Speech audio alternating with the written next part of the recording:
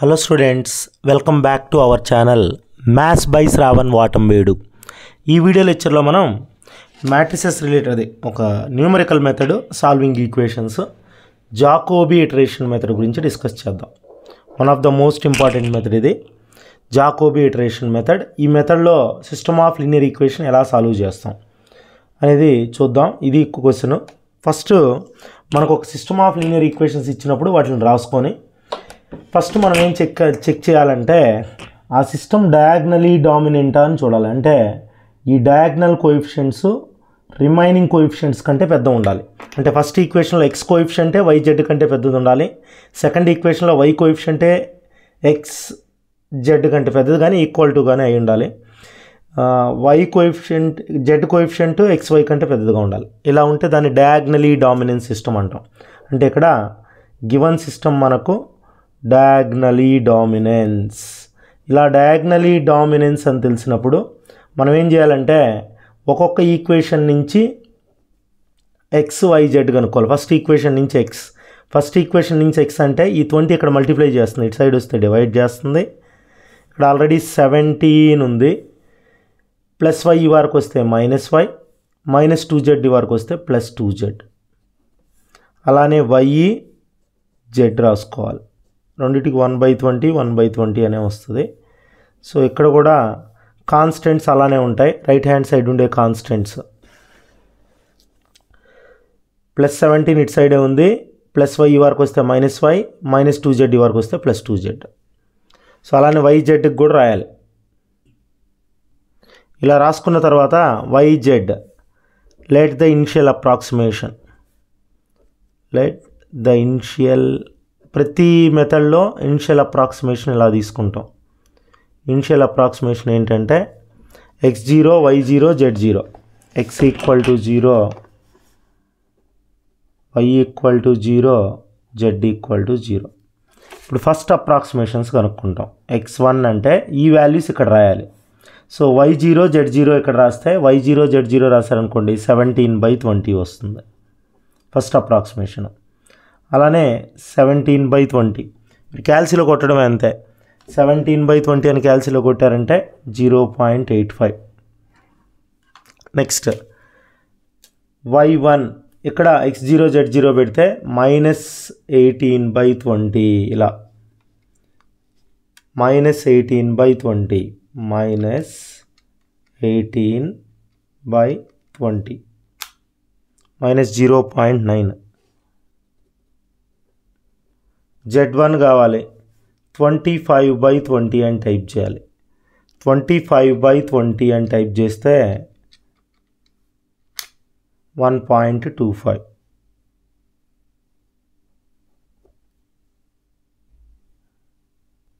next X two కోసం ఈ వాల్యూస్ని యూస్ చేయాలి. X one Y one Z one use చేసి ఇది ఫస్ట్ అప్రాక్సిమేషన్ ఇది ఫస్ట్ ఫస్ట్ అప్రాక్సిమేషన్ సెకండ్ అప్రాక్సిమేషన్కి వచ్చినప్పుడు సెకండ్ అప్రాక్సిమేషన్ కోసం ఈ వాల్యూస్ రాయాలి.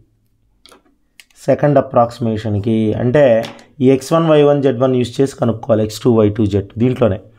ఎక్స్ టూ అన్నప్పుడు ఇక్కడ రాయాలి మీరు. One by twenty.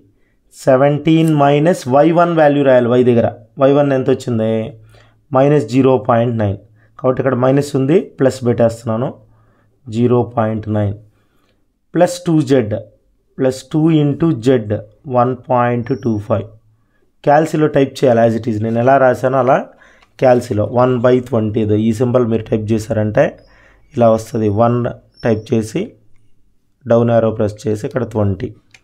పక్కన బ్రాకెట్ ఓపెన్ చేసి ఇక్కడ ఎలా ఉందో అలా. Seventeen plus zero point nine. Plus two into one point two five. Enter చేసి equal to కొట్టారంటే you will get one point zero two. అలానే వై జెడ్ కూడా వై టూ జెడ్ టూ కూడా. సో ఇంతకుముందు మనం ఎలా అయితే దీంట్లో సబ్స్టిట్యూట్ చేసామో అలానే నేను క్యాల్సీలో టైప్ చేసి చూపించాను. అలానే టైప్ చేశారంటే మీకు వై టూ జెడ్ టూ వస్తాయి. ఇప్పుడు ఏం చేయాలంటే మనం థర్డ్ అప్రాక్సిమేషన్స్ కనుక్కోవాలి. థర్డ్ అప్రాక్సిమేషన్స్ అంటే ఇప్పుడు మనకు వచ్చిన సెకండ్ అప్రాక్సిమేషన్స్ని యూస్ చేయాలి. అంటే X three కావాలనుకో. One by twenty seventeen plus ఇక్కడేమొస్తుందంటే Y value వస్తుంది. వై వాల్యూ ఎంత ఉంది ఇక్కడ? Minus zero five. ప్లస్ ఎందుకంటే ఆల్రెడీ ఫార్ములాలో మైనస్ ఉంది. మనకు వై వాల్యూ ఆటోమేటిక్గా మైనస్ వస్తుంది. మైనస్ ఇంటూ మైనస్ ప్లస్ అని పెట్టేసాం. So seventeen plus zero point nine six five plus two into one point zero three ఇది టైప్ చేయాలి. సో వన్ బై ట్వంటీ ఇది ఎలా ఉందో అలా. దాన్ని నేను ఇంతకుముందు చెప్పినట్టు. One by twenty seventeen plus sorry one by twenty arrow mark ఇక్కడ తీసుకొచ్చి seventeen plus zero point nine six five plus two into one point zero three. మీకు one point double zero one two five వస్తుంది. Third అప్రాక్సిమేషన్లో. ఓకేనా? X three. One point double zero one two.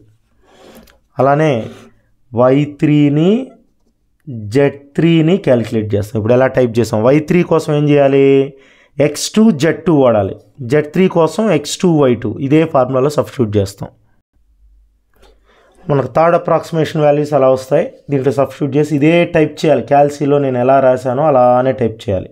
ఇప్పుడు X four కావాలంటే X three Y three Z three. అంటే Y three Z three వాడాలి ఇక్కడ. ఇక్కడ వై త్రీ రాయాలి. One by twenty seventeen plus Y three. One point double zero one five plus two into one point double zero three two. So నేను ఇంతకుముందు చెప్పినట్టు క్యాల్సీలో type చేశారంటే you will get one point triple zero three అలానే Y four దీంట్లో X three Z three substitute చేశారంటే you will get minus one point triple zero eight Z four వచ్చి zero point nine nine nine ఇప్పుడు మీరు చూసినట్లయితే one point double zero one point triple zero close to each other దగ్గర దగ్గరగా ఉన్నాయి. కాబట్టి మనం సొల్యూషను ఎక్స్ వన్ అని చెప్పేయచ్చు. వన్ పాయింట్ త్రీ జీరోస్ తర్వాత ఉంది వాల్యూ అలానే Y minus one point triple zero minus వన్కి equal. Z zero point nine nine nine one. So ఇది మనకు జాకోబీ మెథడ్లో సొల్యూషన్ అవుతుంది. సో ఇలా ఒక్కొక్కటి ఒక్కొక్కటి మనం క్యాలిక్యులేట్ చేసుకుంటూ వేయచ్చు లేదా టేబులర్ ఫార్మ్ ఫార్మాట్లో కూడా వేయచ్చు. సో టేబులర్ ఫార్మాట్లో అంటే ఎలా అంటే మీరు ఫస్ట్ డయాగ్నల్ సిస్టమ్ రాసుకున్నాక డయాగ్నల్ సిస్టమ్ రాసుకునేసిన తర్వాత ఏం చేయాలంటే సో ఇలా సో ఇక్కడ చూడండి సాల్వ్ దిస్ సిస్టమ్ అన్నాడు. ఇది డయాగ్నల్గా లేదు. ఫస్ట్ ఈక్వేషన్లో ట్వంటీ సెవెన్ గ్రేటర్ సెకండ్ ఈక్వేషన్లో జెడ్ కోఎఫిషియంట్ ఉంది. అందువల్ల సెకండ్ ఈక్వేషన్ థర్డ్ ఈక్వేషన్ని సెకండ్ రాసాం థర్డ్ ఈక్వేషన్లో వై కోఎఫిషియంట్ గ్రేటర్ ఓకేనా ఫిఫ్టీన్ సో సెకండ్ రాయను. థర్డ్ వచ్చి ఇది రాసుకోవాలి. అలా డయాగ్నలీ డామినెన్స్ రాసుకున్నాక మీకు తెలుసు ఇలా రాసుకుంటారు.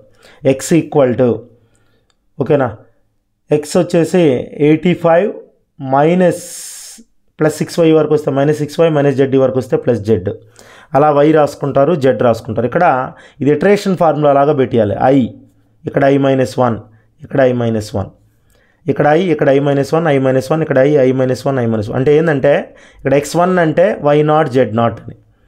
ఎక్స్ టూ అంటే వై వన్ జెడ్ వన్ అని. ఎక్స్ త్రీ అంటే y two z two values use చేయాలని. ఓకేనా? ఫస్ట్ అయితే ఇనిషియల్ అప్రాక్సిమేషన్స్ తీసుకుంటారు. ఇలా x not zero y not zero z not zero తీసుకొని. సో అప్రాక్సిమేషన్స్ ఇలా టేబుల్ వేసుకునేస్తారు టేబుల్ వేసుకొని ప్రాబ్లం చేసుకుంటూ వస్తారు. ఫస్ట్ మనం జీరో జీరో తీసుకున్నాం. ఈ జీరో జీరోస్ ఇక్కడ రాస్తే eighty five by twenty seven కొడితే వస్తుంది వాల్యూ క్యాల్సి వాడాలి. Eighty five by twenty seven. Three point one four eight one. అలానే seventy two by fifteen. One ten by fifty four. అలా చేసిన తర్వాత ఈ వాల్యూ కావాలంటే దీంట్లో ఇలా టైప్ చేసుకోవాలి మీరు. అంటే సపరేట్గా టైప్ చేసుకోవాలి. One by twenty seven. Eighty five minus six into y one value వాడాలి. ఫోర్ పాయింట్ ఎయిట్ ఓకేనా? Plus z one value two point zero three seven ఓకేనా?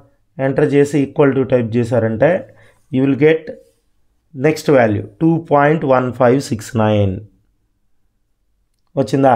సో అలా క్యాల్సీలో టైప్ చేసి ఎంటర్ చేసుకుంటూ వచ్చారంటే మీకు క్రిస్టల్ క్లియర్ క్లారిటీ ఉంటుంది. సో ఈ వాల్యూస్ని యూజ్ చేసి ఇది x one y one z one. వీటిని యూజ్ చేసి x two y two z two కనుక్కుంటారు. అంటే ఈ ఈక్వేషన్లో సబ్స్టిట్యూట్ చేస్తా రావాలి.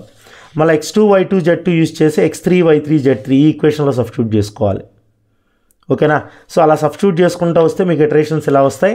మనం ఎప్పుడు ఏం చేస్తామంటే మామూలుగా అట్లీస్ట్ టూ డెసిమల్స్ రిపీట్ అవ్వాలి. ఇక్కడ చూడండి టూ పాయింట్ ఫోర్ టూ ఇక్కడ టూ పాయింట్ ఫోర్ టూ ఇక్కడ three point five seven three point five seven ఇక్కడ చూడండి one point nine two one point nine two అట్లా మినిమం టూ డెసిమల్స్ అయినా repeat అయితే మనం ఎండ్ చేస్తాం ప్రాబ్లమ్ని మొత్తం రిపీట్ కూడా అవుతుంది ఇంకొక రెండు మూడు స్టెప్స్ చేయాలి.